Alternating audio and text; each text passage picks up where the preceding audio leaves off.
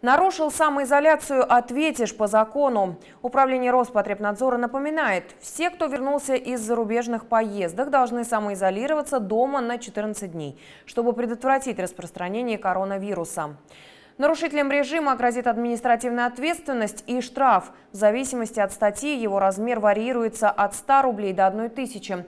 Кроме того, наказание за нарушение санитарно-эпидемиологических правил предусматривает и Уголовный кодекс до 5 лет лишения свободы. По официальной информации, в нашей области не выявлено случаев заражения коронавирусом. Число обращений больных с признаками ОРВИ за прошедшие сутки – 1496 человек. Симптомов коронавирусной инфекции у них нет. Результаты лабораторных исследований отрицательные. Под медицинским наблюдением находится 5281 человек.